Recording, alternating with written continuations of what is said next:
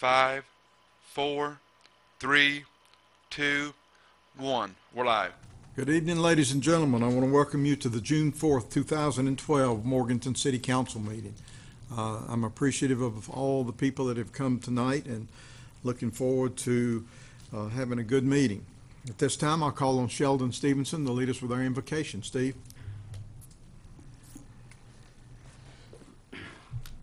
The Bible holds before us two strong commandments. One is that we are to love God with all of our heart and mind and soul and strength. The second is that we're to love each other even as we love ourselves. Let us pray. O holy God, help us to experience in our lives something of your holiness. Help us to experience your love for us and to share your love with those who seem quite unlovable. You have given us each of a sacred life to live. So help us, O Holy Lord, always to have a respect for ourselves and what we mean. We give you thanks, O God. Grant us thy wisdom, grant us thy mental and spiritual vitality. And we thank you. Amen. Thank you, Steve. I appreciate it. At this time, I'll introduce our city council. On my far right is Dr. Alfred Hamer, city councilman, city councilman Forrest Fleming, city attorney uh, Louis Vinay, uh, Mel Cohen, your mayor, Sally Sandy, city manager, Sidney Simmons, city councilman, John Cantrell, city councilman, Kelly Russell is the recording secretary, and Becky Brinkley is interpreting for our deaf community. Uh, We have a very lengthy meeting tonight. And um, again, I thank people for being here. It'll be interesting to see how many people are here when we uh, end up tonight. Uh, At this time, I'd like to call A.D. Mace to come. Where you, A.D., come to this uh, podium over here. Right there, and I'll read the resolution honoring A.D. Mace. A.D. was employed by the city of Morganton as a part-time temporary status labor one in the Public Works Department on April 5th, 2004, and became a full-time permanent status maintenance worker in Public Works Street Department on September 20th, 2004. Whereas A.D. Mace has faithfully served the city of Morganton in the Public Works Street Department and has given of his time and efforts for the benefit of the citizens of Morganton for eight years. And whereas A.D. Mace retired from the city of Morganton as maintenance worker in the Public Works Street Department on June 1st, 2012. And whereas the Morganton City Council wishes to officially recognize the contributions of A.D. Mace and express their appreciation for a job well done. Now therefore be it resolved by the City of Morganton, the mayor present this resolution to A.D. Mace. Adopted this the fourth day of June, 2012. Mel Cohen, Mayor, Sally Sandy, City Clerk. Motion, in form of motion, guys. All in favor, say aye. Aye. A.D., it'll be unusual to not see you downtown. We know your phone number? Godspeed. Take care of yourself. Appreciate it. Yes, sir. You can say anything. It's yours? I'm not. Okay. Thank you.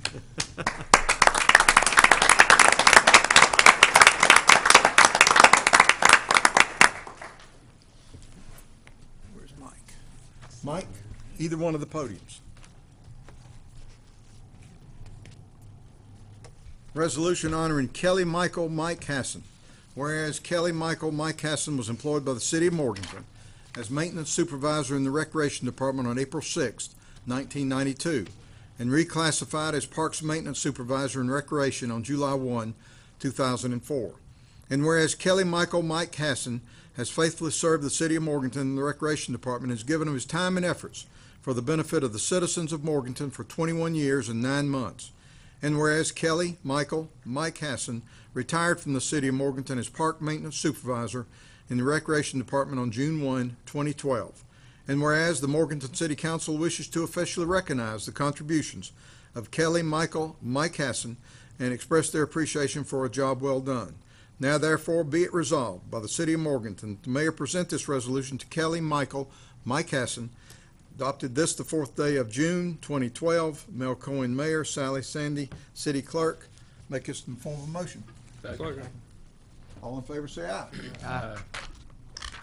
Mike, you notice I don't say any people against it. Right. I was, I was looking at the, cor- my peripheral here. I want to present this to you. Thank you, man. Thank you for everything you've done for the city and the citizens. These checks, you can endorse them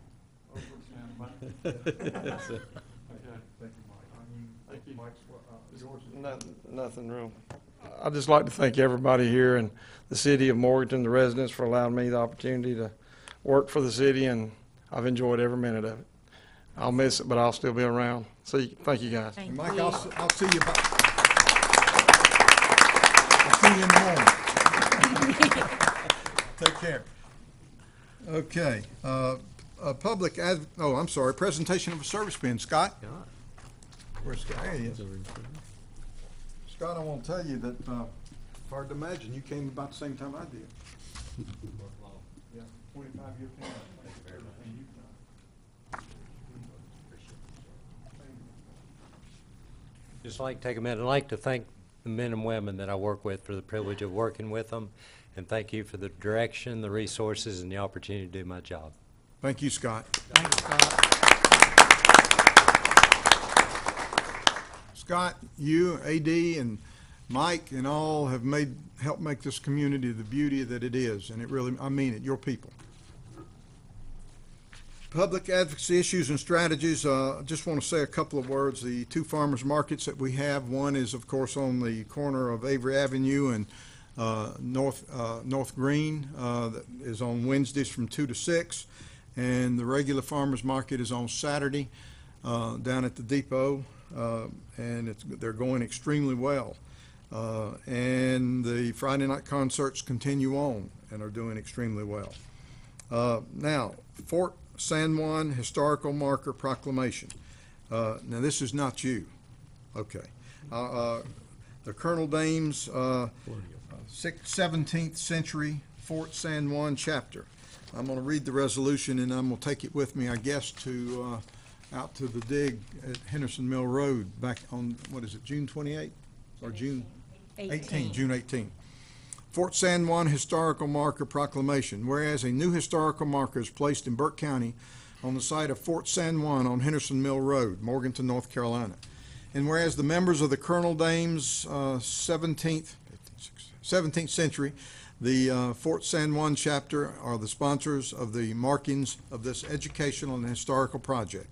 And whereas the marker will honor Fort San Juan, which was settled on the site of the Native American town Joara by Spaniard Juan Pardo and his Spanish expedition in 1566. Pardo built Fort San Juan in 1567, making it the earliest European settlement in the interior of the United States. In 1568, the fort was destroyed by ancestral Catawba Indians, thus ending Spanish colonization in North Carolina and opening the land to settlement by the British. And whereas this memorable event is important to all Americans, and especially North Carolina school children, as it gives them a look back into the colonial history and the formation of our great state. Now therefore, I, Mel L. Cohen, Mayor of the City of Morganton, do hereby extend our best wishes to the colonial dames, sixth, seventeenth century, the Fort San Juan chapter, and our appreciation for placing this historical marker on Fort San Juan on the 18th day of June, 2012. Issued this the fourth day of June, 2012. Mel Cohen, Mayor, Sally Sandy, uh, City Clerk, in the form of a motion. Second. All in favor, say aye. Aye. Okay. And we'll meet all the city council and all the citizens of Morganton out there on, on June eighteenth. At what time? Uh, what time is it? Do you know, Rachel? Eleven in the morning, that's right. Yeah, it is in the morning. And, uh, it's, you know, it's something that I think we're, citizens are not aware of totally. I mean, a lot of the citizens, but it is an unusual thing and, uh, I look forward to being out there with all of you. Diane Tate. Diane, would you come to the podium if you would, please? Proclamation honoring Diane Tate. Whereas Diane Tate is a lifelong resident of Burke County, and whereas when Morganton's Human Relations Commission was formed in the early 1990s, Diane Tate was one of the original members. And whereas Diane Tate has served continuously as a board member of the Human Relations Commission since its formation. And whereas Diane Tate has frequently served as an officer of the HRC, and whereas Diane Tate was elected as chairperson of the HRC in 2005, and whereas Diane Tate was again elected as chairperson of the Human Relations Commission in 2010, And whereas over the years, Diane Tate has devoted countless hours and great effort in the service of the Human Relations Commission. Now therefore, as mayor of the city of Morganton, I hereby proclaim that Diane Tate should be and is hereby recognized for her many years of exemplary service on Morganton's Human Relations Commission, and that Diane Tate should be and is hereby recognized for her extensive involvement as a citizen and as a member of the community in not only the Human Relations Commission, but in many other aspects of the public, civic, and religious life of this great community, and that this proclamation should be spread upon the minutes of the Human Relations Commission and of the City Council of the City of Morganton. This, 22nd day of May 2012, Mel Cohen, Mayor, Sally Sandy, City Clerk, making the form of motion. Second. All in favor, say aye. Aye. Diane was the one that I called when we had a slight problem back in the early nineties. And Diane and some wonderful other citizens of Morganton and Burke County helped form the HRC, and to this day, it's a very strong uh, entity in the city of Morganton. Diane, I want you to take this home, you and Oscar share it, okay? And by the way, she is the daughter to one of our longest, I don't know how many years, 50, 50 years. Uh, Her father knew every water line in this community backwards and forwards. And we, we miss him and we're gonna miss you, but you'll be back, I promise. Want to say anything? To God be the glory. Without him, nothing is possible. And I want to thank the ci- city of Morganton for allowing me to give service for the last 19 years on the Human Relations Commission. Thank you, and may God bless you. Thank you, Diane.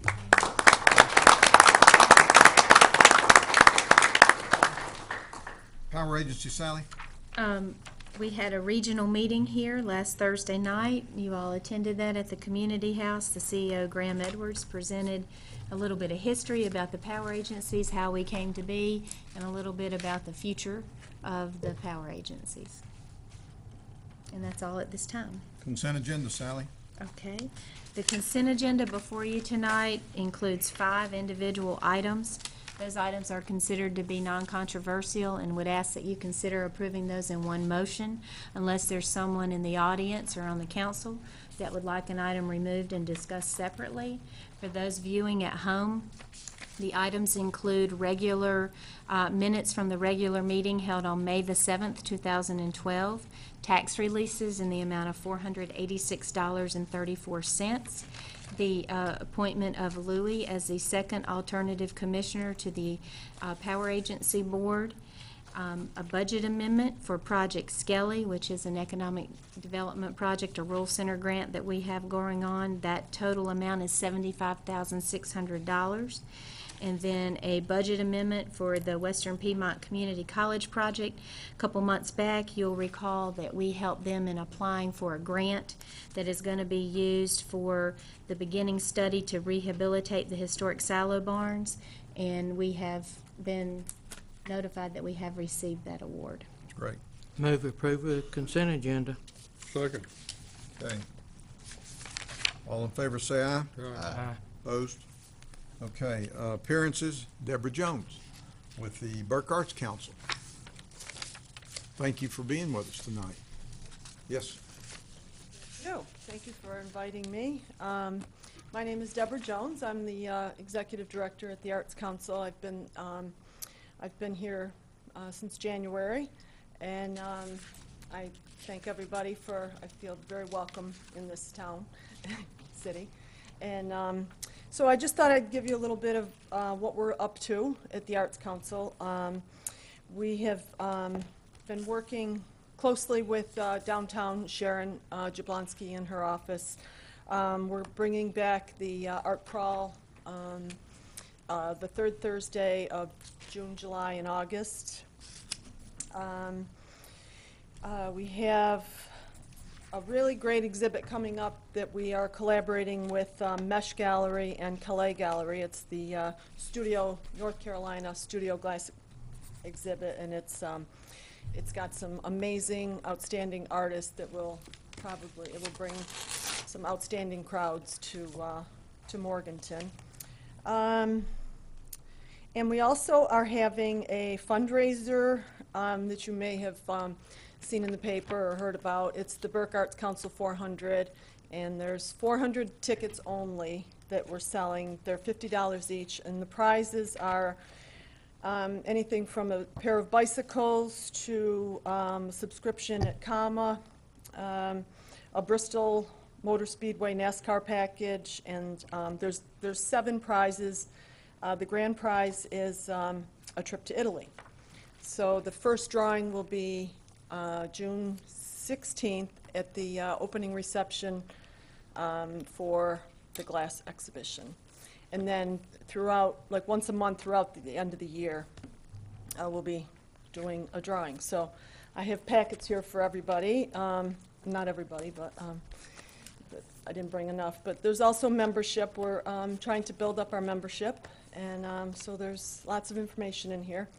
Um, Do you have any questions? Debbie, I meant to bring you the check tonight for the uh, drawing, and I forgot. I'm sorry. I'll bring it by your office tomorrow. Okay, okay. It's a very, very enticing. Be there. Yeah.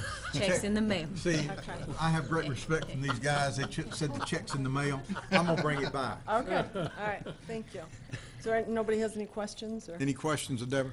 No, okay. Let us know when you get the check, please. Just call in. you to pass. Okay. I'm still impressed you Thank you, the Darren. Roman numerals. Not over that The yet. seventeen. Any questions of Deborah? She's pumped new life into the Arts Council.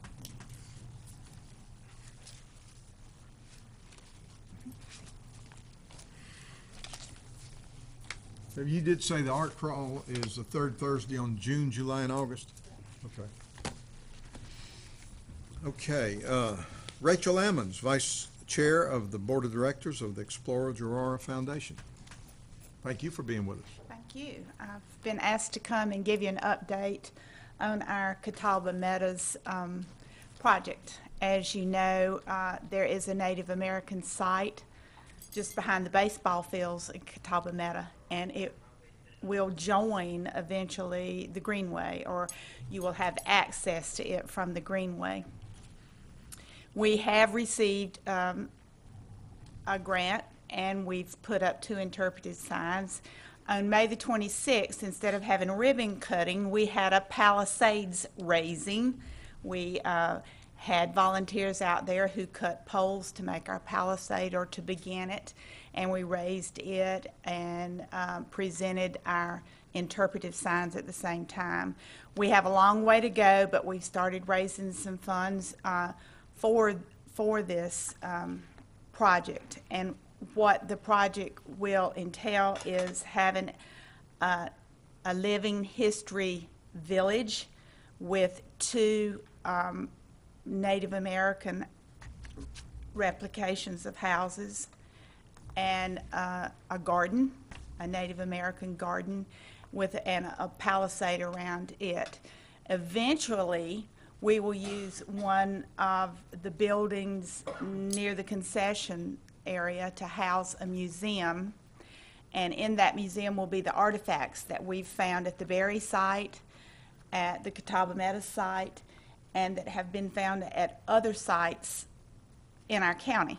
Um, we have been loaned, given, and have received a lot of artifacts from other people in the community. So we think it's an honor that we've been asked to keep these to safely and hopefully, um, when we get this building renovated, we'll be able to, um, open it to the public where you can see those.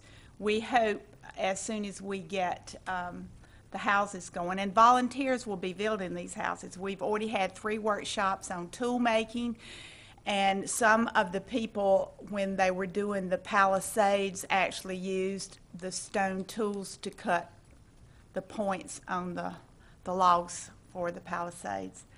Um, But we'll, um, We'll have more workshops later on. We've had that one. We've had a pottery, a Native American pottery workshop with the pit firing of the pottery out there.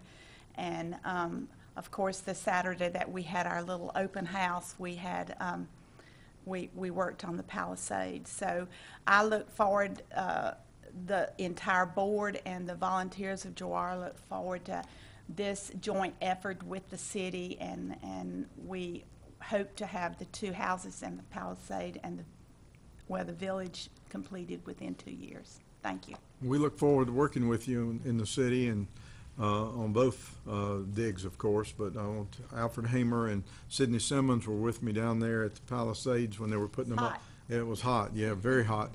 But the young, uh, the young fella who was uh, with the, uh, uh, the handmade hatchet, I guess, yeah. was cutting the point on the, the wood. The, it's- it- it's amazing that, that's how hard it was. Uh, I thought they were gonna bring out the chainsaw, but they didn't. But thank you for being, any questions of Rachel? Thank you. Thank you very much. Look forward to the eighteenth. Thanks. Andy Hearn. Either one.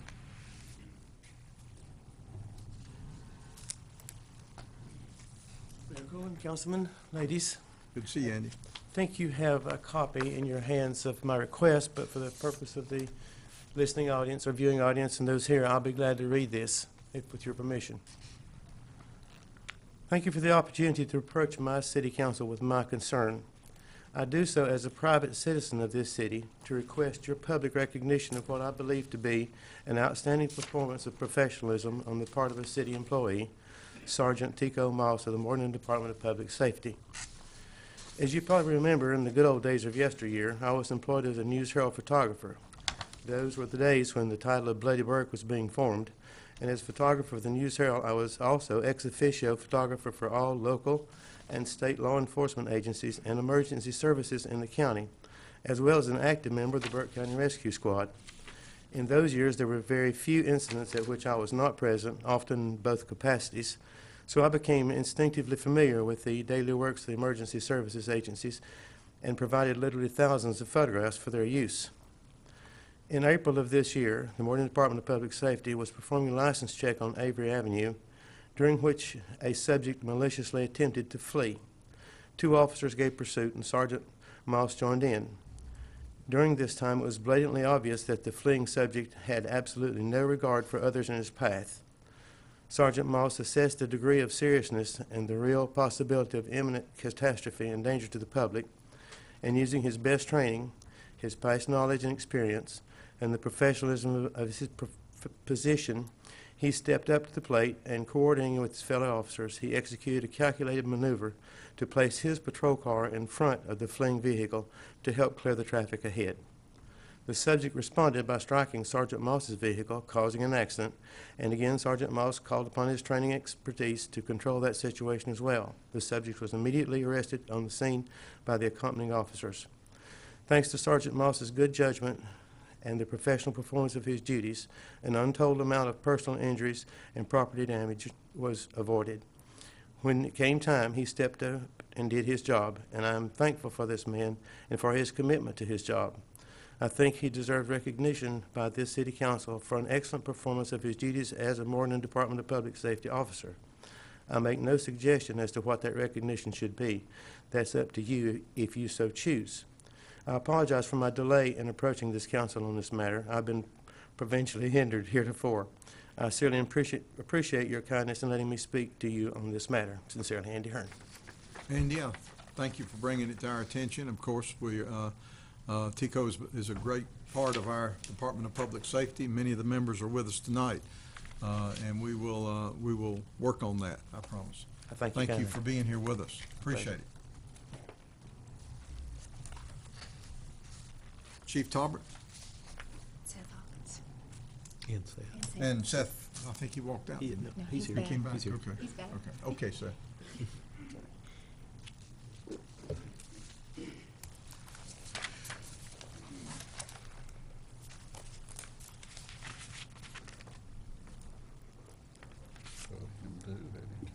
Mr. Mayor, members of the council, city manager, city staff, and members of the viewing audience, both present here tonight and at home. I'd like to take a moment and talk to you about an, an incident that happened on May the 19th of 2012 involving several officers, members of the emergency services family, as well as the rescue squad, and that's why they're here tonight with us. Uh, I didn't bring them with me because I was expecting trouble. but if we have any, I think you can take care of it. So, anyway, um, I'm going to address the, uh, the incident itself with a brief summary and then hand it off to Dr. Seth Hawkins to address it further. At approximately 0121 hours on 5/19 of 2012, Officer Shane Fulp was on patrol and noticed a white Toyota Camry stopped on College Street near Fleming Drive, just below the department. When Officer Fulp approached the vehicle, he noticed the driver, later identified as Wanda Clay, was slumped over unconscious. He immediately notified our communications center of the situation and checked Miss Clay for vitals. He did not detect either. At that time, Sergeant Mike Ferraro arrived on scene and helped Officer Fulp remove Clay from the vehicle. Sergeant Ferraro had notified, had communications to notify the EOC, Emergency Operations Center, and to, to respond to emergency traffic, which is to us 1018, um, and to respond to emergency traffic to that location. He also had Engine 2 respond with a defibrillator. As Sergeant Ferraro and PSO Falk began to, uh, began to administer CPR, Sergeant Brad Buchanan, PSO Michael Gates, and PSO Stacy Huffman arrived. Sergeant Buchanan assisted with retrieving an ambu bag and helped give breaths while PSO Fulp and PSO Gates took turns during these compressions. Engineer Frank Braswell, who was operating Engine 2, arrived with an AED or defibrillator.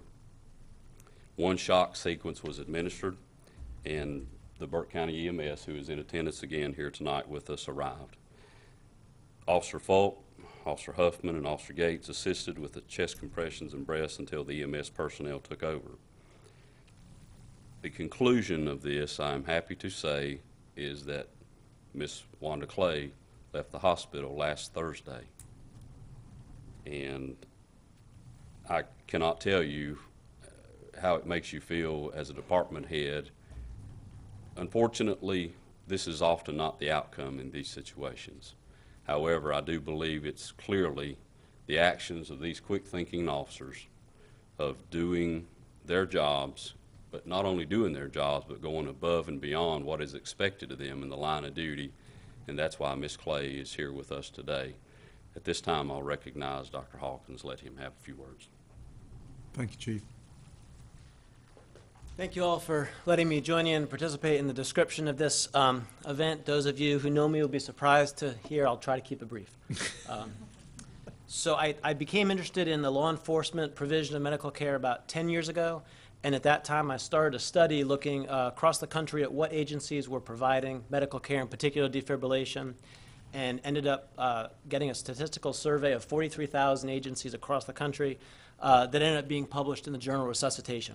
So we got a very good sense of what is being done as far as the state of the art for defibrillation in our country um, as provided by law enforcement officers. And I got to tell you, you guys are on the cutting edge. Uh, what we found was that um, although uh, the vast majority of agencies wanted to deploy AEDs and wanted their officers uh, and law enforcement personnel to have this ability, and although 10 times more agencies were actually delivering that service to their communities, less than a third of the uh, communities that um, that uh, we surveyed were actually using AEDs by law enforcement officers. So what this means is that in Morganton, we really are on the cutting edge of that type of medical care for our uh, citizens.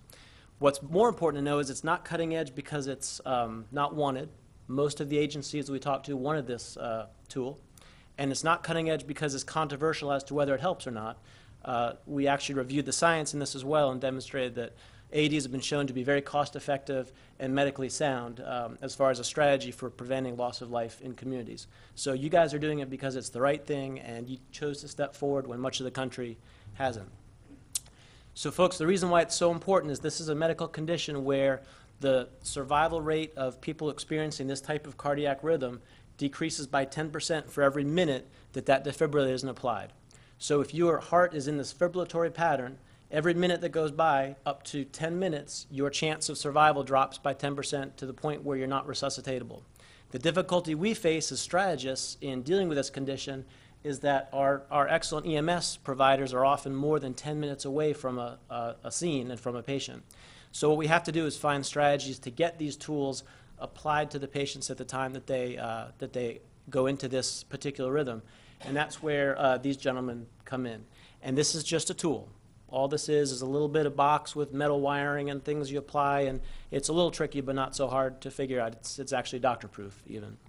Um, what happened here was less. Uh, it was certainly important that the AD was there and was available, but what I think really happened here was that uh, these individuals, law enforcement personnel, um, uh, had their street smarts, on, street smarts on, were aware of what was going on, were uh, patient and citizen oriented, and stepped forward to use the tools that they had. And I'm just proud that we were able, as a city, to provide them with those tools that in the end allowed a woman to walk away from, uh, from this situation alive, which is our, our greatest goal all the time.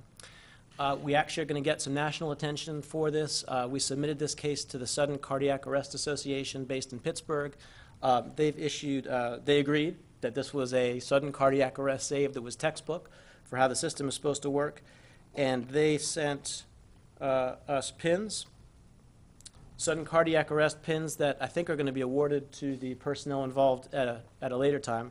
But they're sharp and good looking.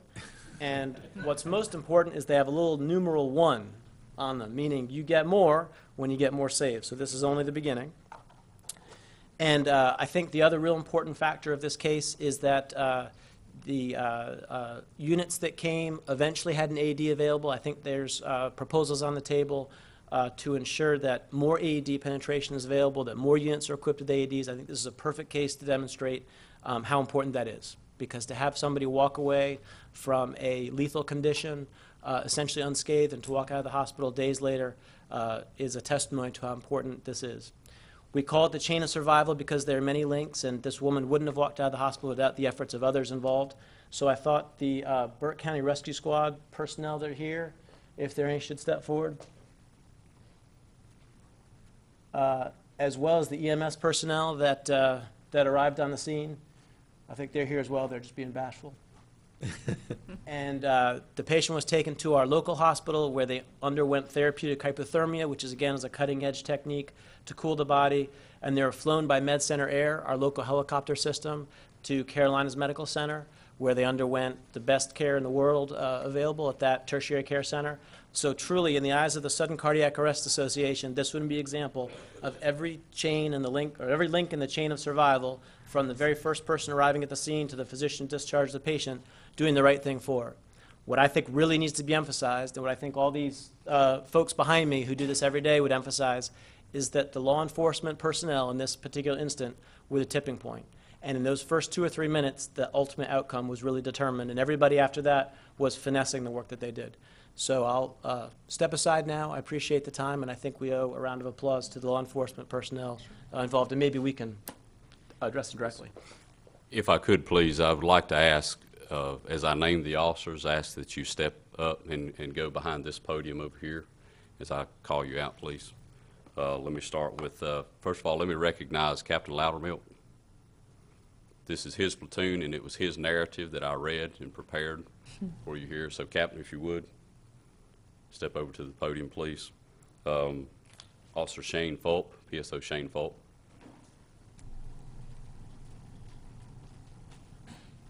Sergeant Mike Ferraro.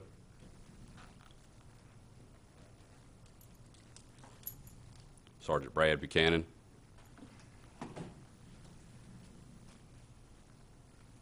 Officer Michael Gates. Officer Stacy Huffman. And Engineer Frank Braswell.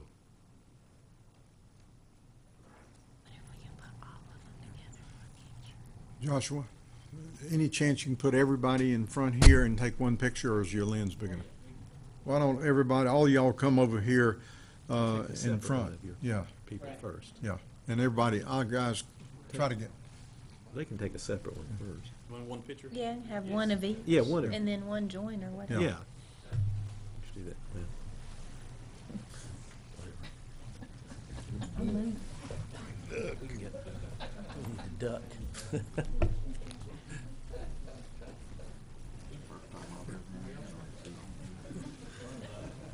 right, let's do two lines. Let's do public safety up front, y'all. You're bigger than me.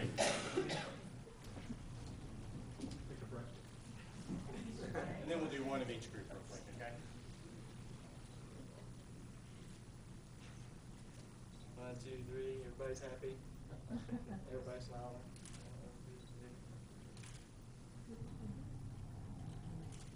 All right. Let's do public safety.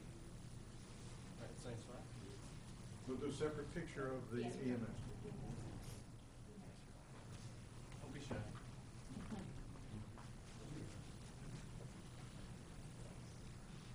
Everybody's still happy. One, two, three. All right. All right. EMS.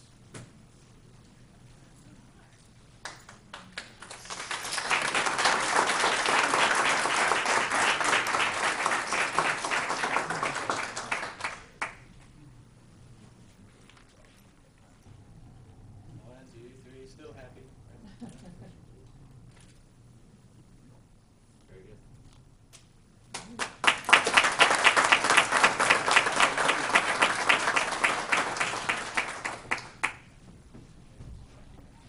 This is an amazing story, and, uh, and I, I hope that the, and I'm sure the media will give, uh, all of these, uh, the full story to, uh, let all the people hear it on the radio and see it in the newspaper, and thank you a lot.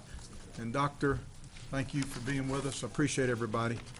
Chief, you have anything else, or Seth, do you have any?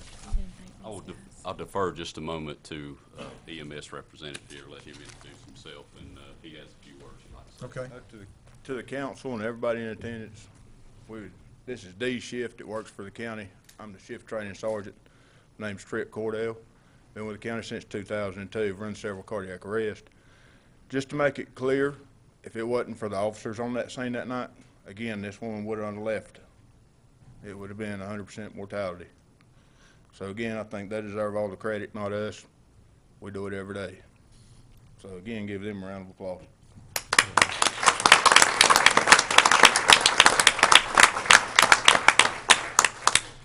Thank you all very much. Public safety at the finest, and I mean that sincerely.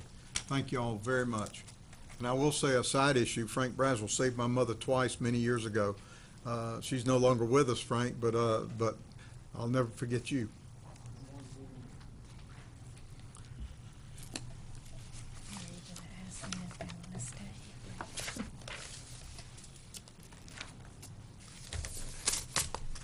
Anyone willing and wanting to leave, y'all are welcome to leave. Willing.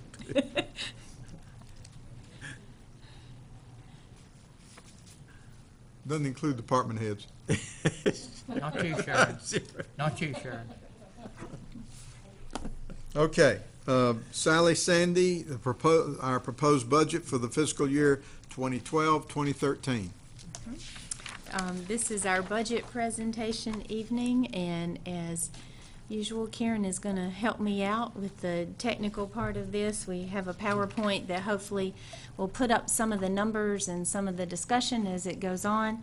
Um, I know sometimes I I talk longer than some people want to hear, but um, presenting tonight a a $65.7 million budget for fiscal year 12-13, and would like to share some of the highlights, or at least what I consider the highlights in that budget. Um, We'll start off by telling you that um, the budget appears on its surface to be about 16% less than the current year's revised budget that we're working under. That's a bit deceiving because in the current year, we have an $11.4 million waste treatment plant project, the state revolving loan project that we've been dealing with now for some months. And that one is a little unusual, and so our budgets aren't usually that high. So once adjusted for that, we're looking at a budget that's really 2% less than the budget that we were dealing with this year. Um, couple of things about this. The budget that you're seeing, and again, that is sixty-five thousand, sixty-five point seven million dollars, is, um, a responsible budget, I believe, and in that budget, we'll remind everyone that there are forty-eight full-time city positions that remain frozen. In essence, in other words, they are not funded in the budget that is presented to you tonight, and that is equal to fifteen percent of the workforce as per how many allocated positions you have established to perform the services that the citizens in Morganton enjoy. We're going to talk a little bit later about the capital in this budget, and that is one of the things that has changed and one of the things that we are looking at doing slightly different from the past couple of years, or at least the last two or three. But I want to talk about that as we talk about it relative to each of the funds. We'll um, begin by talking a little bit about our partnerships. They're very important in this community, and we have several longstanding partnerships and other entities that we work with. And we have funded those partnerships. Last year, they took a 10% cut in their funding. This year, we are recommending funding Burke Development, which is our county economic development arm, 268,697. The library, 217,727. That includes a capital request at the library of $23,750. That piece will be dependent upon Burke County. Um, Burke County has been asked to fund that same amount for some renovations and some necessary work at the main library. That will only happen, of course, if Burke County does the same. Uh, the narcotics ta, oh, incidentally, let me also mention that Scott and his folks still maintain the library grounds each year, and we estimate that to be about worth five thousand dollars. And that's at the main library. Uh, the Burke County Narcotics Task Force, and we fund that twenty thousand dollars a year. That is included in this budget. And then the Foothills Regional Airport, included in this budget is the fifty-two thousand one sixty-six. That also will be dependent upon our other funding partners and what they end up doing after everyone's budgets are approved. Now I'll talk a little bit about the general fund, and, and that's, that's the fund that we most all equate with general government services. And that's the fund where public safety, public works, recreation, uh, the administrative departments of the city are housed, everything that is non-utility. So we'll talk about that first. That's the fund of taxes, sales taxes, ad valorem taxes, and, and all the taxes that we think about. The budget proposed to you is eighteen million, eight hundred one, six hundred and sixty-three dollars. That is six hundred and eighty-seven thousand dollars less than the budget that we are working under currently. The one thing I will say about that, in eleven twelve, we were very fortunate in being able to obtain almost a million dollars, and with the one that you just approved tonight, over a million dollars in rural center grant funding to help some of our economic development projects and to be able to help some of our industry that was looking to reuse some old buildings to be able to do that. So the current budget is a wee bit inflated because that number is included in there, and that's not something that happens for us each year. Um, will tell you that there is no service that we are currently providing that is proposed to be eliminated or cut next year or any change in the service level that we are currently delivering. The capital budget in the general fund, and this is one of the, the changes. Um, you're well aware that um, we have been going through several years of, of an economic crisis and I think crisis is probably not too strong a word, nationally, at the state, at the local level. And while I don't think that we have come out of that completely, I do think that we've reached the point where we need to start looking toward the future and we need to be making some decisions that help us look toward that and move this ship toward that and to do some of the things that are going to position us to be able to move out of the economic downturn and to react and be the kind of community that we're all proud of. One of those ways is in this budget, the general fund capital budget, which has been very slim for several years. Um, presented to you are several projects we took our field trip and we went to visit a lot of these because these include some facilities improvements and some improvements at the facilities, the public facilities that people use. That includes some wayfinding signage that will help carry out our branding and also allow people, visitors, and folks who live here the ability to be able to get around town better. Um, replacement of a 26 year old HVAC system at CoMMA um, hopefully installing an elevator at College Street Rec Center, some very necessary renovations at the bathhouse at the College Street Pool. Several of these projects are things that we have looked at for several years, postponed, and decided not to do relative to the economic times that we've been facing. Uh, replacement of some public safety vehicles, some paving projects, a much-needed uh, replacement of a street sweeper, and some new kitchen equipment at the community house. So that's the highlights of the capital projects included in the general fund. Um, we'll tell you that those capital projects total a million eight, one million eight hundred eighty-three thousand eight hundred and fifty dollars.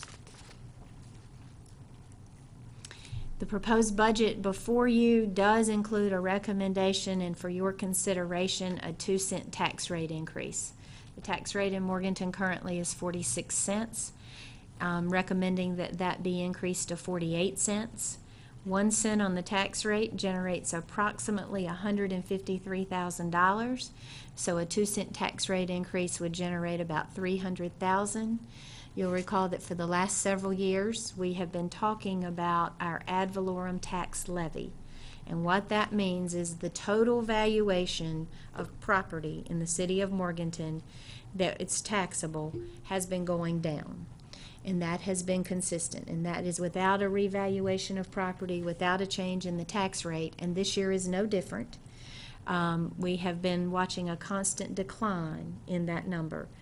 The good news is that last year, between the previous year and the current year that we're in, we saw that decline at about 185,000. This year, we are projecting that to be $57,260.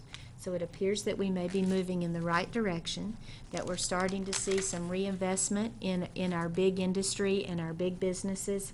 It appears that they are starting to invest again in some capital purchases and some personal property and equipment.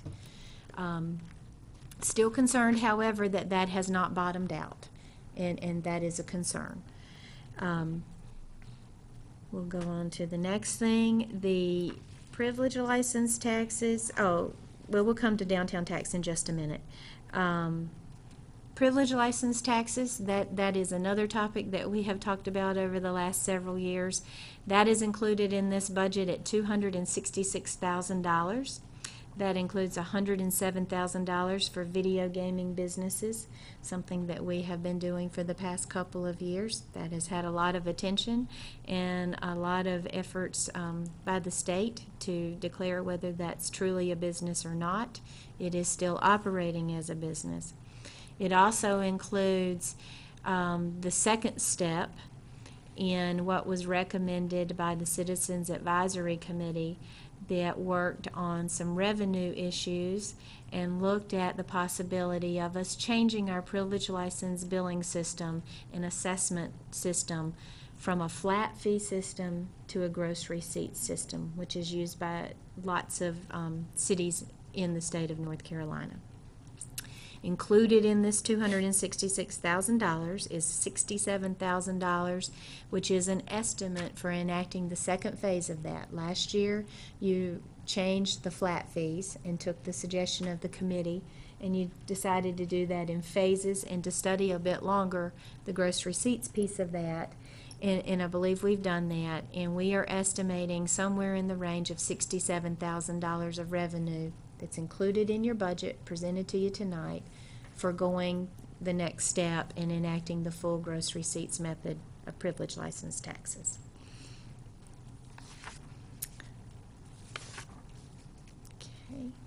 The other thing that I will say, the downtown tax, the special downtown tax, municipal service district tax is fourteen cents per hundred dollars value, and that is not recommended to change. It is recommended to stay at fourteen cents.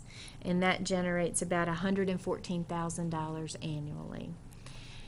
The next item for your consideration, which is a big ticket item in the general fund, is the solid waste fee, or as most of us know it, the garbage fee. Um, currently, that is eight dollars and fifty cents a month, recommending that that would increase in July to ten dollars a month. At the time that you established this fee, we said that we would pay for seventy-six percent of the cost to provide sanitation services, and that's, that's everything. That includes debris removable, rough trash, limbs, loose leaves, bag leaves, and backyard residential trash pickup, which we still do, one time a week. Um, that we would support seventy-six percent of that operation with the fee.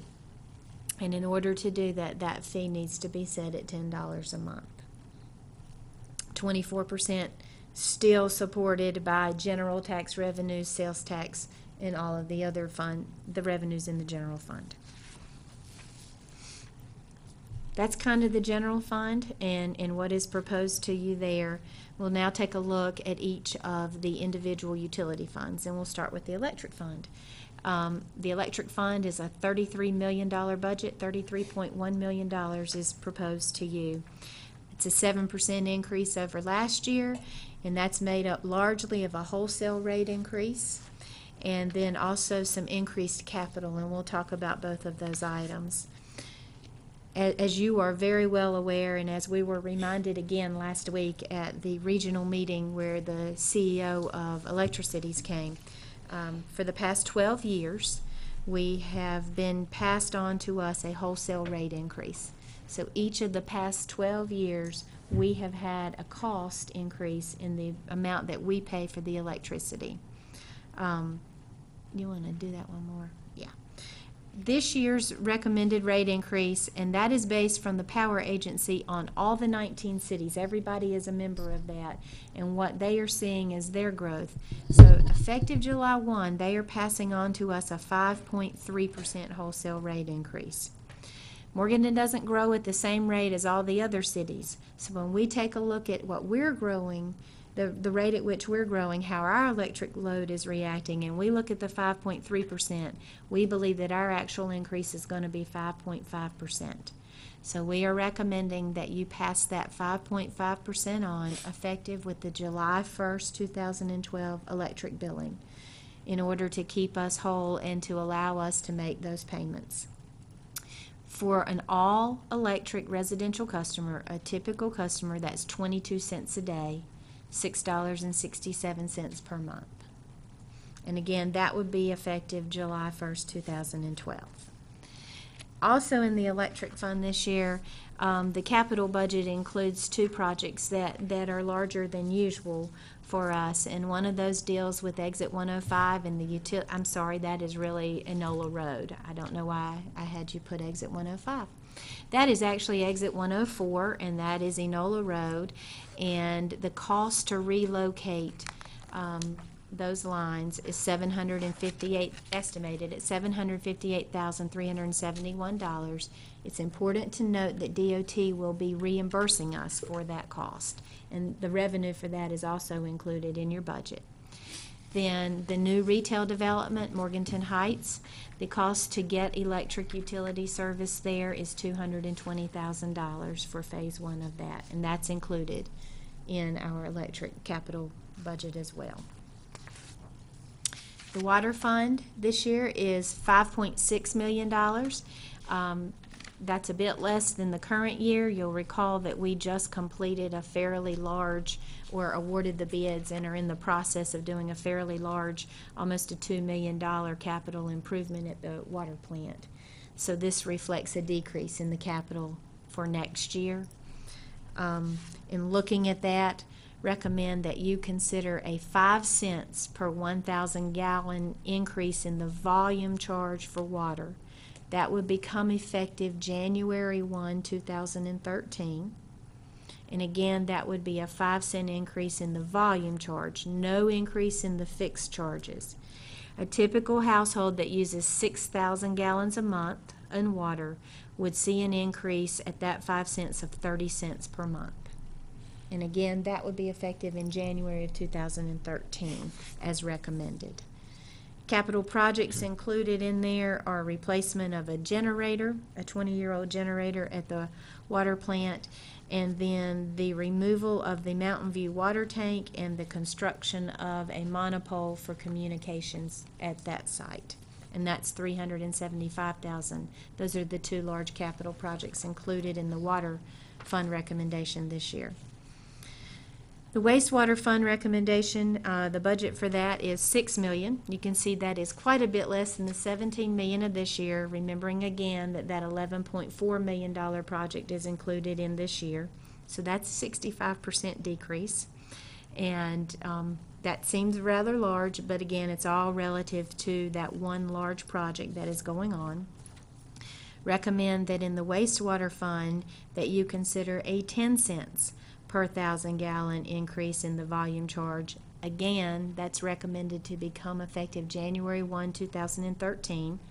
That same residential customer or inside the city customer that would be using 6,000 gallons a month would see that increase 60 cents a month on their bill. No increases in fixed charges. Um, much less capital in next year's budget than we looked at this year because we are still working on the $11 million project and concentrating on getting that done. Two things worth noting, um, upgrade to the Lost Corners pump station, that's $100,000 and that is included in the recommendation. And then a sewer rehab program, and we've talked about this in relation to the large sewer project and in relation to beginning to rehab some of the older lines and to take care of some of the infiltration and leakage issues where actually stormwater leaks into our system and finds its way to the waste treatment plant and we are having to pay to treat that. So this is the beginning of what we hope to be an annual program where we set aside funding to begin rehabbing the older lines that are out there, and we've included two hundred thousand dollars for that. The cable fund, bright spot for second year in a row. Um, that is a four point four million, almost a four point five million dollar budget for next year. It's an increase of about a hundred thousand dollars or two percent over the budget we're working under this year. Does have included in that a recommended rate increase, again, that would be effective January one of two thousand and thirteen. That's three dollars per month in basic cable.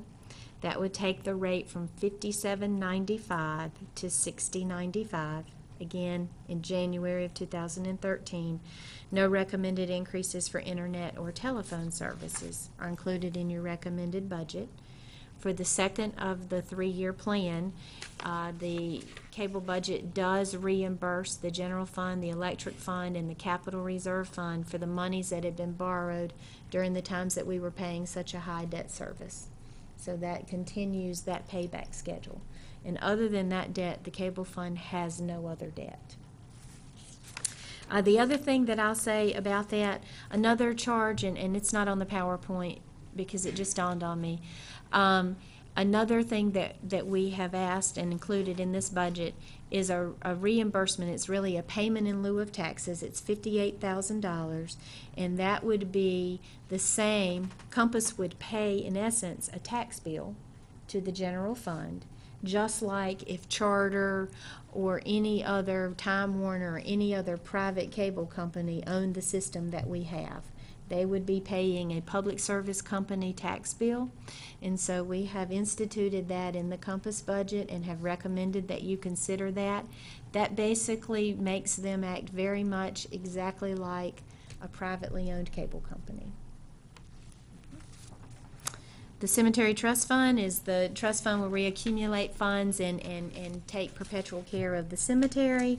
Um, that budget is twenty-two thousand eight hundred and does include using ten thousand dollars from that fund to help fund the current expenditures and, and the current maintenance of that for the next year. The intergovernmental service funds, which includes our warehouse function, our garage function, and our IT, our, our information resources, as we call them. That total budget is one point nine million, and that one point nine million is included in the sixty-five million costs that you've looked at. And that is a decrease of almost hundred and ninety thousand dollars over the previous, the current year that we're working in. Um, a little bit about personnel. As we indicated early, we have forty-eight frozen positions. And this budget includes maintaining those forty-eight frozen positions. Uh, does include a one percent COLA, a cost of living increase for city employees. That would become effective if you choose to do so January first of two thousand and thirteen. The total cost for that one percent COLA next year is fifty-three thousand five hundred and forty-four dollars, and that is citywide. Has the employees continuing to contribute the monthly ten dollars toward their health insurance, and continues to, um, fund the law enforcement step, special separation allowance. Uh, retirement funding has gone down a bit, um, partially because the state's required contribution was reduced a little, and also because we have forty-eight positions that are now vacant, that we are no longer funding retirement or any other benefits for. Um, that's kind of the nuts and bolts in, in all of the different funds that, that make up the City of Morganton budget. I um, noticed that, that Julie had quoted me, and, and I had said in my budget message that I felt like Bill Murray and that I was stuck in Groundhog Day because it seems like for the last handful of years that the message has been the same and that the message has really been stagnant revenues, increasing cost, we have been through a period where recognizing that and recognizing the need to sustain the city services and to keep providing those to the citizens of Morganton because they deserve them. Um, we have been in a mode of, I'm going to call it survival. Um, several things have happened over those years to make that happen. We had two years of furloughs and salary reductions for employees. We have had a hiring freeze now that's been in place for three years, and next year we'll make that year four. We have looked at changing benefit structure, and we have lessened some of the benefits that employees get.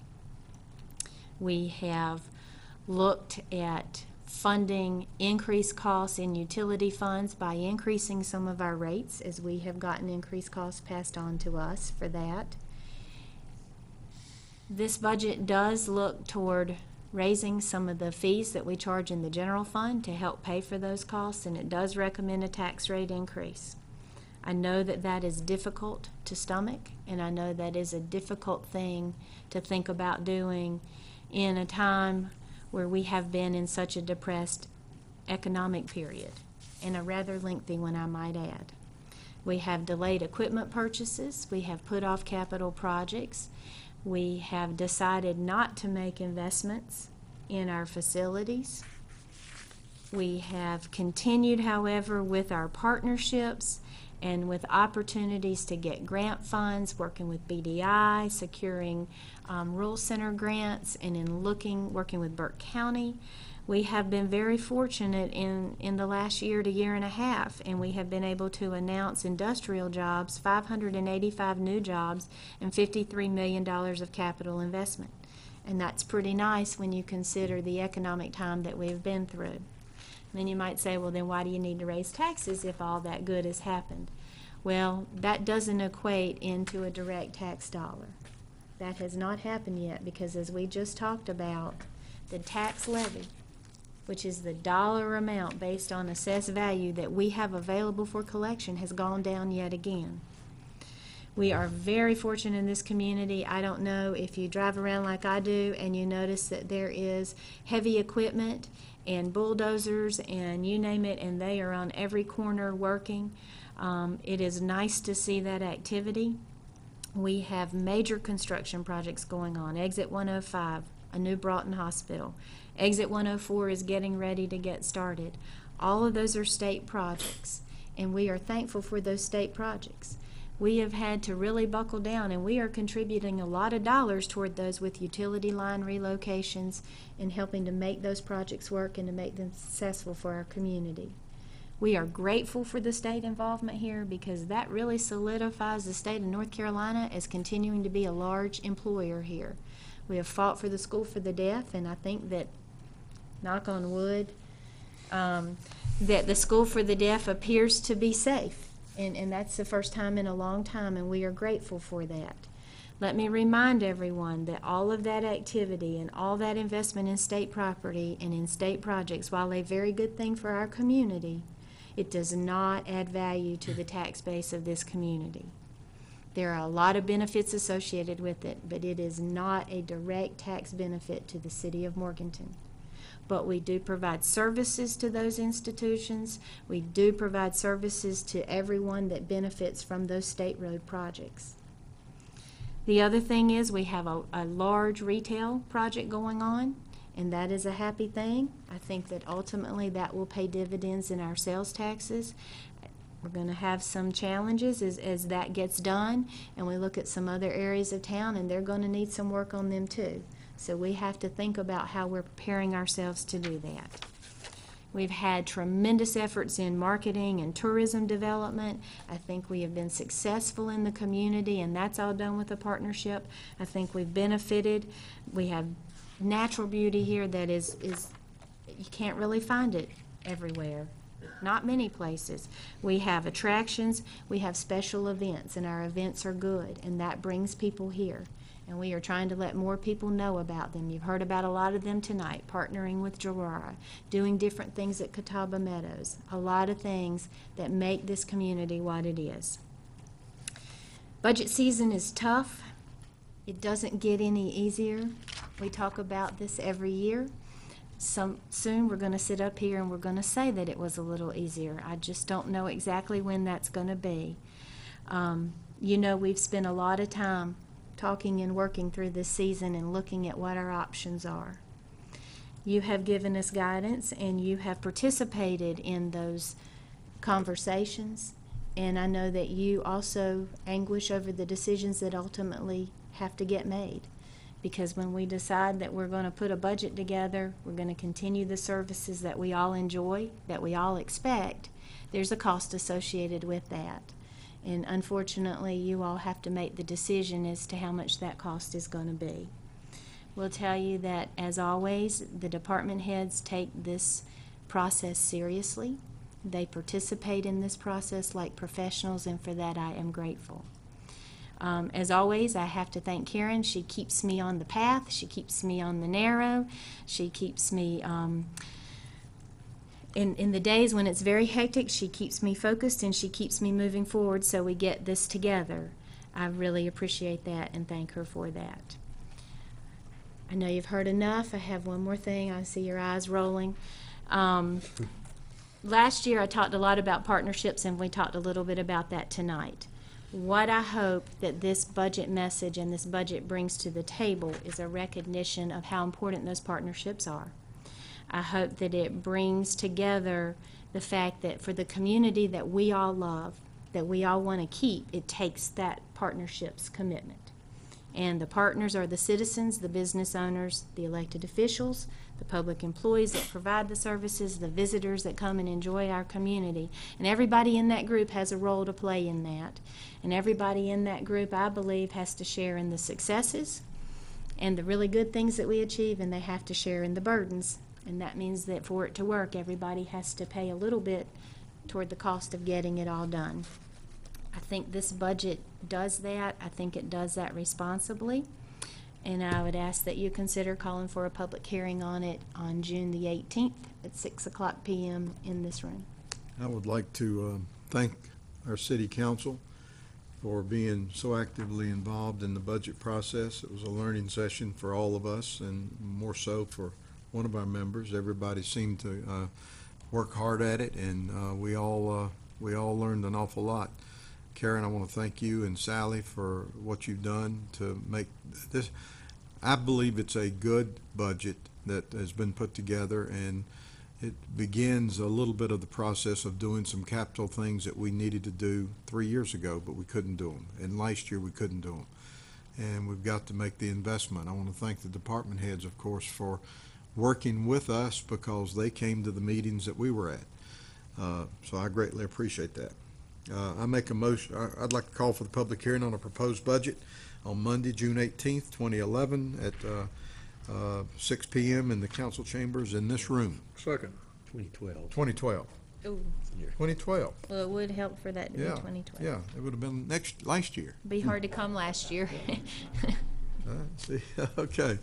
Uh, All in, did I ask for the motion? I mean, a motion I made, did I ask for, all in favor, say aye? Aye. Uh, Any discussion? All in favor, say aye. No? No? Okay. I guess that eleven threw me for a loop. Sorry. Sorry. All right. Sorry. Sorry. We've had too many numbers bouncing around. Okay, so public hearing will be June 18, 2012, 6 PM in these chambers. New business. Before Pub- we get too far, Yes, could I. I got Sure. a couple questions I'd sir. like to ask. One, we're talking about water and sewer, ninety cents a month increase, Yes, sir. six sixty-seven power increase, For an all-electric home. all electric. Well, I think everybody knows how I feel about property tax. If we need an increase, I think that's where it ought to be, because everybody has to have water and everybody has to have electric. And I think that's, I think it's a fair way than only taxing uh, more than the two cents. I, I'm kind of satisfied with the two, the two cent tax increase, but going more than that, I think that, that's not fair. And I got one more question. I don't know if this is the time to ask it or not. I know that we've got a lot of, of institutions that are tax exempt. Uh, Broughton Hospital, Western Carolina Center, the hospital. We furnish, uh, fire protection. We furnish backup police protection. Uh, I'm aware that they kind of make a donation, I guess is the correct term to use for it. And I'm also have been told that they kind of cut their donation back. My question is, when it gets to where we feel like we're losing money by furnishing this, what are we gonna do? The, the state general assembly makes a, or at least in the past, they have made an appropriation, an annual appropriation, which is basically like a payment in lieu of taxes from the state institution. So it's state revenue that comes to us to pay for the fire protection at the state institutions and the, the backup police protection and what we do. Um, several years ago, maybe three years ago, when was that increase? It was a little bit more than that. Three or four years ago, there was an increase in that. And it went up from, I believe, like around ninety-eight or so thousand dollars a year to hundred and seven thousand dollars a year. That is calculated based on a formula that they use. We have no input into that. Um, two years ago, they started reducing that amount as they were looking at budget troubles. And that amount was reduced to, Ten, eleven, well, in nine, ten, as you said, it was one oh, one oh seven, nine, eleven. In ten, eleven, it was eighty thousand, nine, thirty-three. This year, seventy-five thousand, eight, thirty-three. And, uh, we have no, we haven't heard officially what it's gonna be next year, but we assume it will stay at that level. but we have been told that currently in the budget talks that it stays at the seventy-five thousand. That is one of the issues that we talked about with our representative, with, with Representative Blackwell and our Senator Warren Daniel, when we had a meeting before they went back to Raleigh. And one of the things that we have put out there as one of our issues, because we're not the only community in that situation. Obviously Boone, I mean, they have a large university, Chapel Hill. I mean, there are communities that provide similar services to state institutions. And um, don't know how successful we'll be at trying to get them to increase that back up to a reasonable rate. But currently, we do feel comfortable that at least at this point, it's in at the same 75, and we're not going down yet again. Well, I know we've got some idea of when it gets to that point, we start losing by doing it. I just wondered what we're gonna do. That's an interesting question. Very much so. Okay, uh, we've called for the public hearing. I'll open up, I'm sorry, I'm gonna open up a public hearing on economic development incentives for James Tool Machine and Engineering Incorporated. Sally? Um, this is another very positive, and this is an opportunity that we have to work with a local company who is looking toward expanding and hiring employees and making investment in their facilities. We have been working with BDI in Burke County.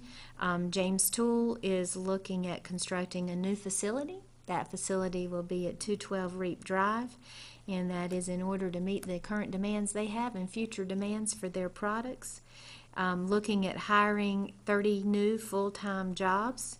It's a 30,000 square foot manufacturing facility, and a capital investment of not less than $2.3 million will be required in order for them to get that. Um, recognizing that this is a benefit to the community, would ask that you um, consider an economic development incentive grant. That would be something that the city and the county would jointly do. It is a three-year grant, and it is estimated that over that three years, the city's contribution would be fifteen thousand eight hundred and seventy dollars. Notice of this public hearing was advertised in the News Herald on May the twenty-third, two thousand and twelve. Anyone in the audience wishing to speak for or against the uh, assistance, please uh, stand up and state your name. Where you reside. Thank you, Mayor Council. Scott Darnell with Burke Development. Um, Just wanted to say, you know, thank you for the support of the, the public utilities. There's a piece of that that's helping them expand, as well as the council and, and staff. Um, You know, another great success, uh, local machining company. Uh, Ms. Beth Bertelson, the Chief Financial Officer, has joined us tonight as well. We'll be taking this before the county commissioners tomorrow night, but another great success. The company continuing to invest in this community, hiring very skilled labor, and, you know, continuing to um, innovate and become a leader in their field. And we're fortunate as a community to have this type of company, but it continues to build on the success of, you know, helping the economy move forward. And again, thanks for your support and uh, consideration for this grant tonight. Thank you. Anyone else? Close the public hearing. Council? We make the motion to approve the economic development and assistant grants with James Tool in Burke County and to allow the mayor and our management to approve any technical amendments required in the execution of this agreement. Okay, we have a motion, second. Discussion again?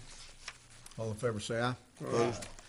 Uh, Other business, consideration of entering into a CDBG Small Business Loan Agreement with James Tool Machine and Engineering for the purpose of developing a new manufacturing facility at two fourteen Reap Drive. Sally? Um, This is another opportunity that we have to participate and help to stimulate the economic growth of James Tool and serve the greater good of the community. Um, You know, with our CDBG funding, that we have set aside funds and have been encouraging and concentrating on small business loans that we do through that HUD funding that we get. And before you tonight is consideration of a fifteen thousand dollar CDBG loan. And that is to help them with some of the utility work that is gonna be happening in order to serve the new facility. And would ask that you consider that tonight. I make a motion to enter into an eighteen thousand dollar CDBG loan agreement with James Tool Machine and Engineering for the purpose of building a new sewer line to the project. Second. Have a second. If I may interrupt, um, Mr. Mayor, actually, that should be, because the bid came in lower, it's only a fifteen thousand dollar loan. Very good. We'll actually be awarding that bid later. We took those bids late Thursday afternoon, so, Okay, Fifteen Okay. thousand. okay. yes. Uh, Any other discussion? All in favor, say aye. Opposed? Okay. Consideration of closure to a through traffic of a portion of Mall Street between Bushell Street and Waitstill Street. Sally? Um, we have a, well, a street that doesn't meet standard, street standards for normal street building, and that is, is Mall Street, or at least a portion of it. And there have been several accidents that have occurred on this street that doesn't really have a lot of traffic on it. And so, um, engineering has taken a look at what could happen in that area in order to make it safer to travel to vehicular traffic. Um, the street actually, when you drive down it, it seems more like an alley than a street, and that's just the feel of it. There has been a meeting with the property owners that, um, are adjacent to this street and where it runs.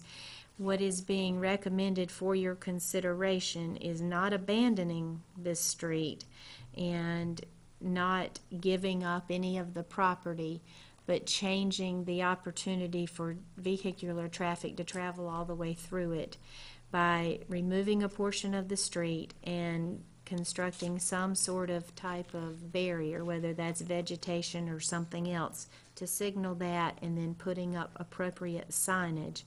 And that would happen um, down at a point where the southern boundary line of the Stryker Properties LLC tract at 104 Mall Street actually touches Mall Street. It's one of the Patterson Street, Oh, I'm sorry, that is Patterson Street. I think. Because it is addressed on the Patterson Street. But you can see on the photograph that you have included, you'll see a white line that crosses the street. And that is where the suggestion is to do that. It would still allow access for all the property owners to every piece of property. It would just not allow through traffic to travel all the way down that street. And Mark Young's here if you have any questions or any more explanation.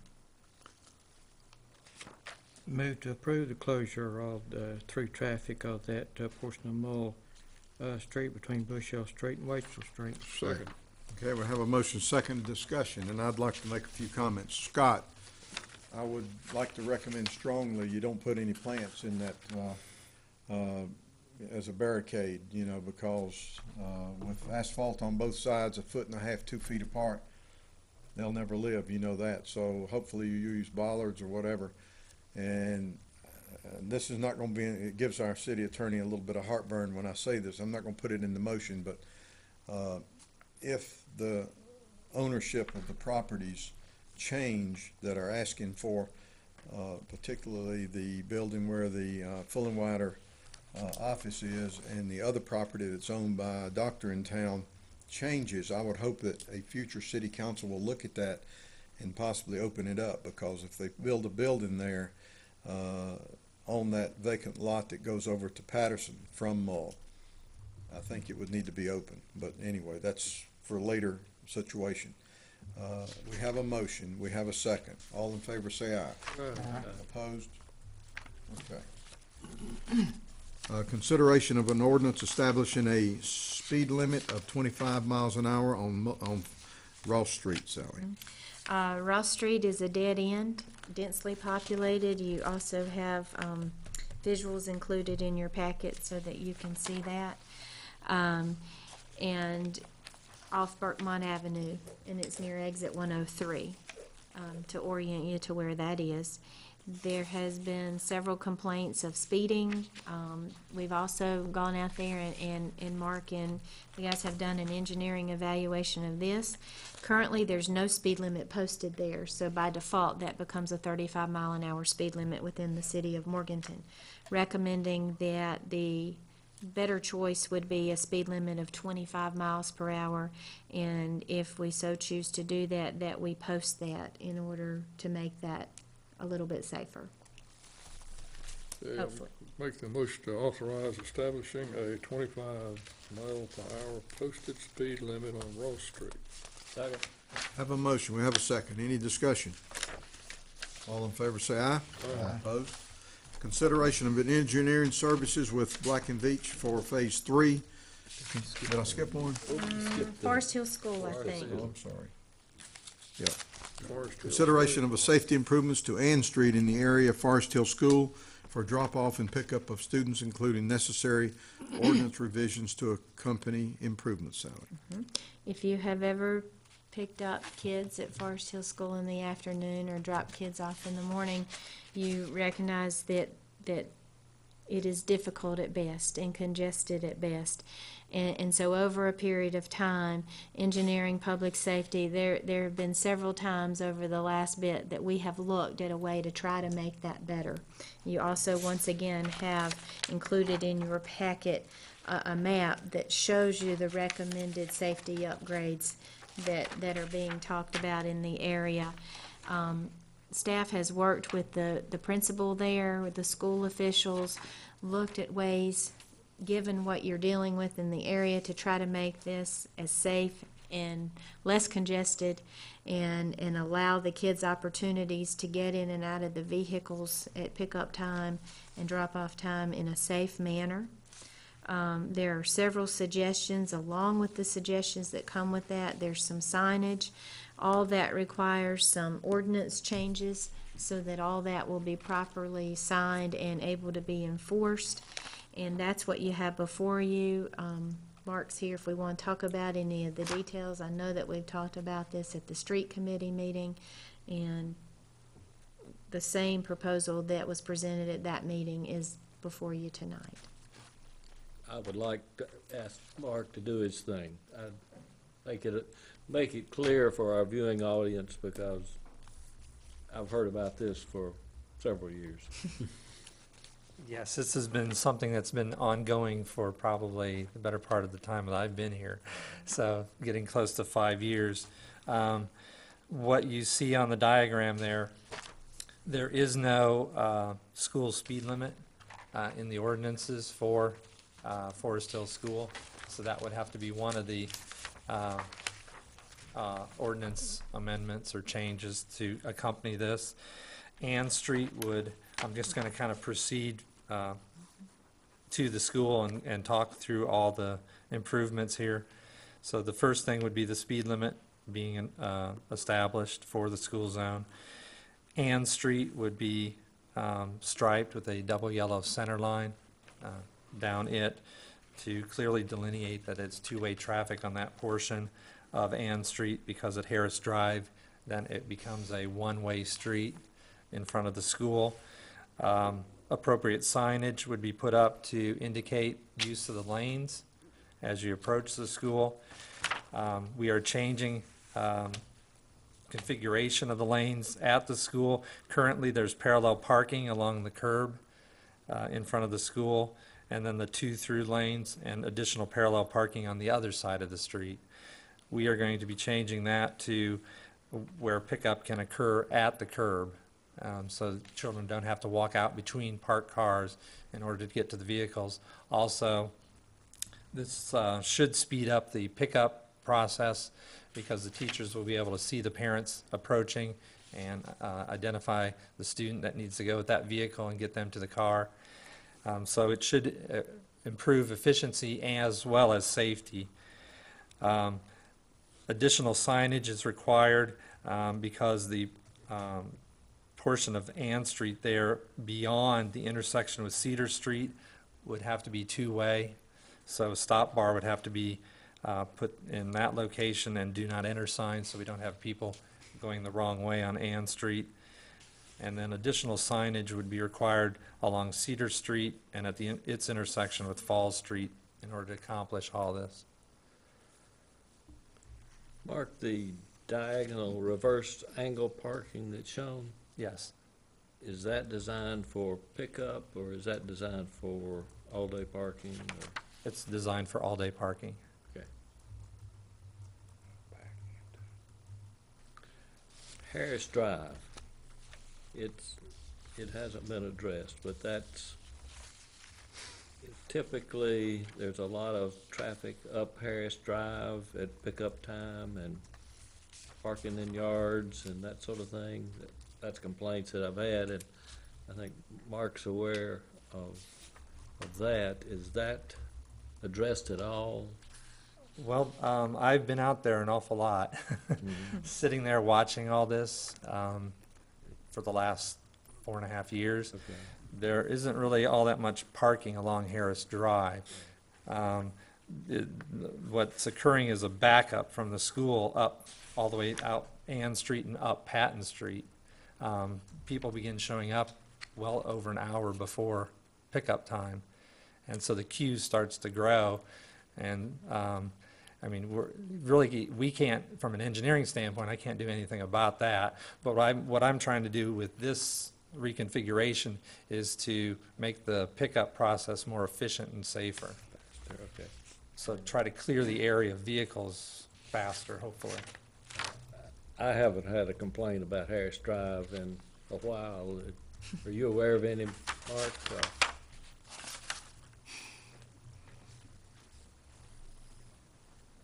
Have not received any complaints of late, but this lends itself back to the overcrowding issue that that school faces.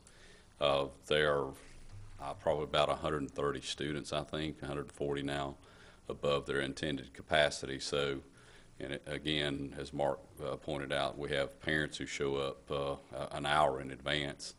They obstruct driveways to some of the residents who live along those, the, the Ann Street and, and Patton Street. And that's where the problems now, sometimes we've had issues where folks who live on Harris can't get out because the traffic is so jammed up. And so they can't get out to turn left to go back into their exit, if you will. Um, and it's just, uh, over the years, it hasn't been addressed because there hasn't been, uh, I guess you would say there's been differing opinions on how it should be addressed and should be handled. That's the best way I know to put it, so we've Well tried to come to a solution. Well said. Thank you. That was well said. Well, how are the, the cars gonna, are they gonna enter on Cedar Street and then go back down Ann? Is that what? Other, other way around. Other Well, way it looks around. like the, Coming in. the, uh, parking places are, That, that's reverse angle parking. You, uh, instead of pulling into a diagonal parking space, Yeah. these you pull up and then back into them. That way, when you are leaving the parking space, you can pull forward. You have to back into them? Yes, it's like a parallel parking space. Actually, from a safety standpoint, it's better, because what happens is, when you back into that reverse angle parking space and the doors open, children do not have the ability to go out to the street. The doors are actually blocking their route to the street. So from a safety standpoint, uh, the reverse angle parking is much safer.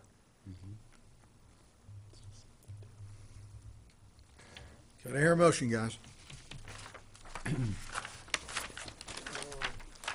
make a motion to authorize installation of roadway markings and signage on Ann Street as well as Patton Street and Cedar Street as part of the safety improvements at Forest Hill School during the drop-off and pickup of students. Furthermore, a motion to revise the city ordinance as necessary to accompany these safety improvements. Second. Motion second. Discussion. Will these specific ordinances be brought back to us, or that will just be up to the staff to do the ordinances and, Th- They're attached. oh, okay, okay, I'm sorry. There, revise the city ordinances in the motion. All in favor say, did we do that? Yeah, all in favor say aye. Aye. Opposed? Okay, next item is, uh, consideration of engineering services with Black and Veatch and for Phase Three, construction of the Catawba River Water Pollution Control Facility, Sally. This is the project that we just love to talk about every meeting, at least two or three times, it seems like. Um, this is obviously the continuation and what is slated to be the final phase of the improvements at the waste treatment plant that are relative to us complying with the special order by consent that we signed with North Carolina DENR. This is the last phase of the eleven point four million dollar construction project. This is the engineering contract for phase three. This is the engineering that takes us all the way through the final construction, the inspection, on-site inspection during the project, any regulatory compliance issues during the project, and also any kind of testing of the, uh, the equipment as we start that up. There'll be a materials testing phase as it goes in to be installed and begins to work. The construction pre-conference was held here on May the twenty-fourth, and there were probably twenty or so people, maybe more, in, um, attendance at that meeting. That included the engineering company, city staff folks, the contractor, Asha, the um, regional guy from DENR who will be at every meeting, and Asha and the DENR folks will be on site a lot.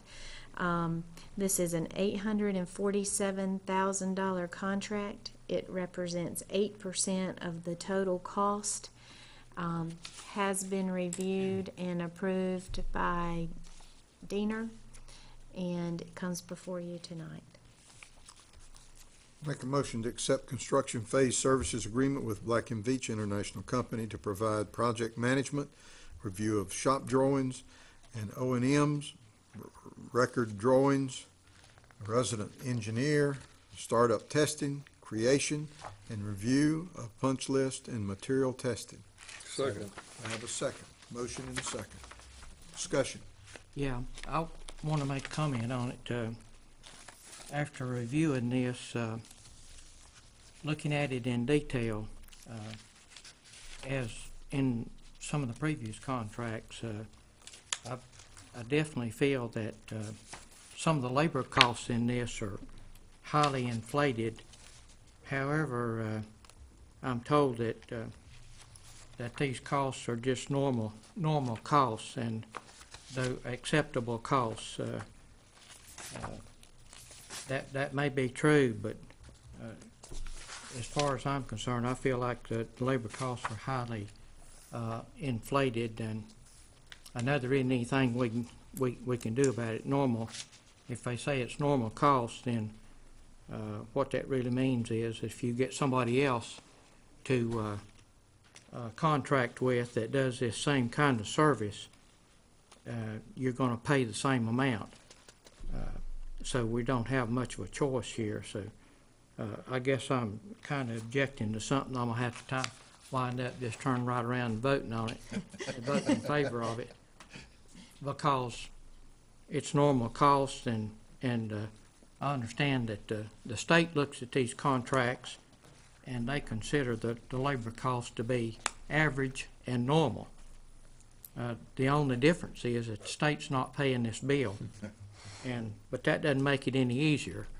So, uh, I've had my say on it, and I guess I'm ready to vote.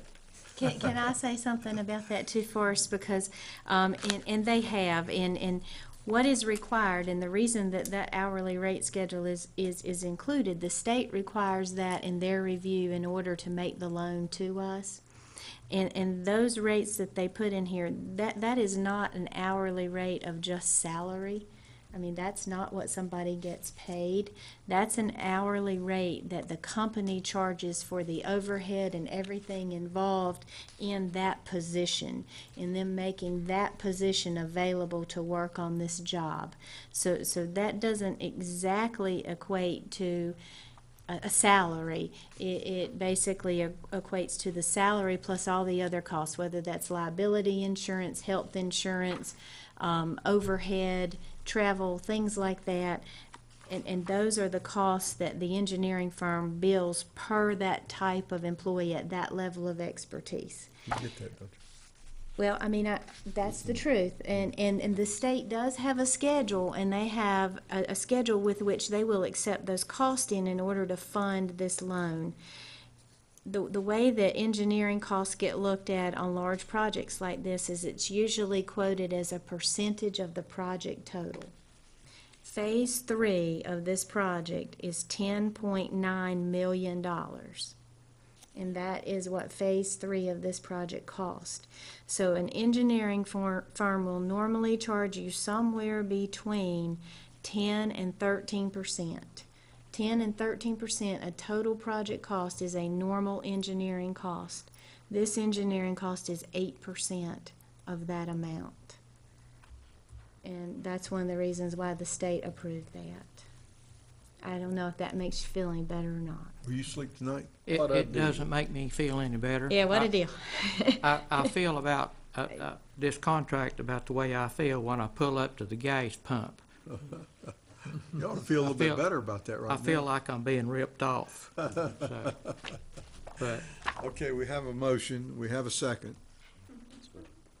And let's vote. All in favor, say aye. Aye. Opposed, you vote for it first? I did. Okay. I felt ripped off too. Sam. Consideration of a dark fiber lease with Broadplex LLC. Sally. Okay. That is um, a CoMPAS contract that we are looking at, and Bill Harkins is here if we need any further explanation. Basically, we have some unused fiber strands in our system. Call that dark fiber. And we have some running along Highway 18 and along Highway 64.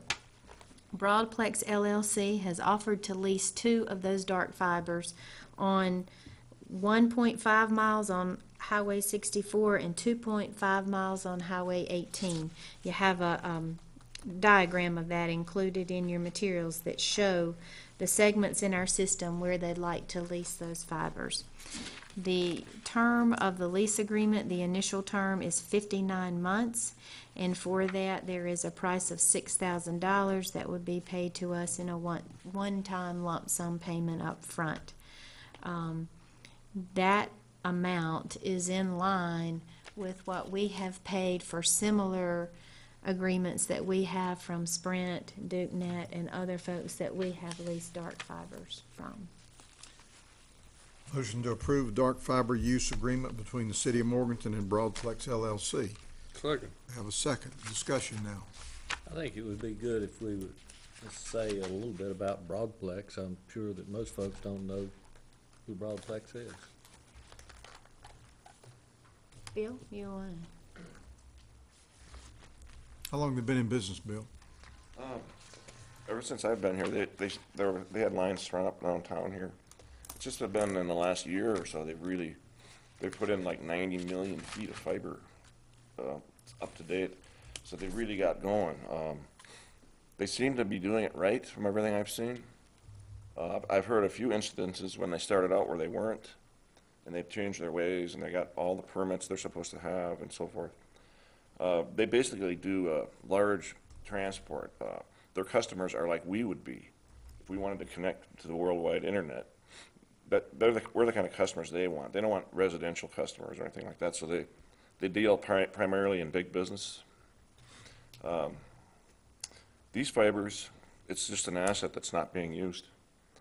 Uh, what they want to pay us, the six thousand dollars, is actually about twenty percent higher than what we, we, uh, get from DukeNet. So it, it is in line with what we should get for it. We can get them back anytime we want on a six-month notice. Good. And we will, um, of course, it'll just be for ten years. At that point, we could look at if they want to continue. They will be using this as a backup. They're putting underground in all the way down South Sterling and on Burkemont. But anytime you put underground fiber in a business district, it's just a matter of time before somebody cuts it. And they want this for a backup in case that happens. I got a question, Bill. Mhm. How did we go about, did you, did you negotiate this price with them? Or did we, we just look at a, at what the standard is and, and kind of come up with a s- standard price? Yeah, I, I it? knew what we were getting from Duke, which was about a thousand dollars a year. This pays us about twenty percent more. And I talked to Rocco, and that's what we came up with. We thought that was fair. I will say during their project, one of their contractors that is installing fiber on Sterling Street recently cut one of our sewer lines. And um, it is a sewer line that serves Zaxby's. And we had the opportunity to, to meet that challenge and continue providing a restaurant um, acceptable sewer service. And we did that and have received great accolades from Zaxby's for how that has been handled. And their contractor obviously is reimbursing us for the, the cost and, and working to, to fix the sewer line. Tell us how um, you fixed that sewer line to continuous service. Well, right now, it's, it's not completely repaired yet, is it, Don? Is it just So with we've duct made tape? some other arrangements. Okay, mm-hmm. Mm-hmm. Mm-hmm. all right. Well, we actually put a guy out there and stuck his finger in it. We're hoping you'll pull tomorrow's shift. For any amount of money, I'd do it. Okay, we have, um, we don't have a motion yet, do we? Yes, you do. Motion and a second. You do. All right. Any further discussion? All in favor, say aye. Aye. Opposed? Consideration of award of engineering contract for relocation of the electric utilities on Enola Road. Sally. Um, the projects continue. Um, this relates to the project we discussed earlier where the electric department is having to relocate thirteen thousand feet of three-phase electric lines on Enola Road in order to accommodate that widening project. And in order to do that, um, we needed to engage an engineer who will design and oversee that project. Um, three responses were received, and after review of those, the staff is recommending Southeastern Consulting Engineers, and the price for the design is not to exceed thirty-five thousand dollars. North Carolina DOT will be reimbursing us for that cost in next fiscal year. Okay. Make the motion to award the engineering contract for the relocation of electric utilities on Enola Road to Southeastern uh, Consult- Consulting Engineers Incorporated for a price not to exceed thirty-five thousand dollars. Second. Have the motion, have a second. Any discussion? All in favor, say aye. Aye. Opposed? All right, consideration of boards and appointments. of- And we'll go one by one. Uh, Cable, three vacancies.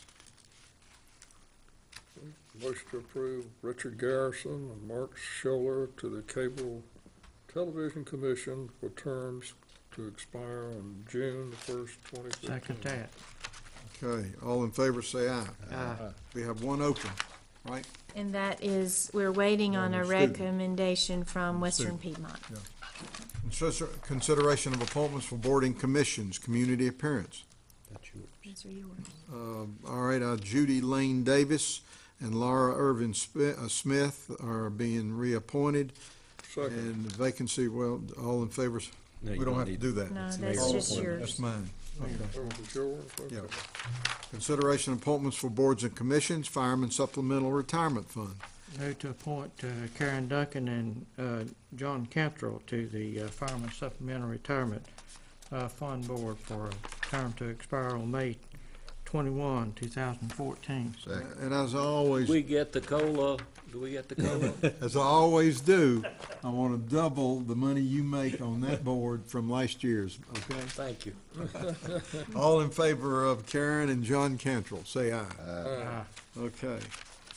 Uh, Human Relations, my, it's my appointment. I'd like to put Ken Clark, who was recently named Citizen of the Year uh, by the Human Relations Commission on that board.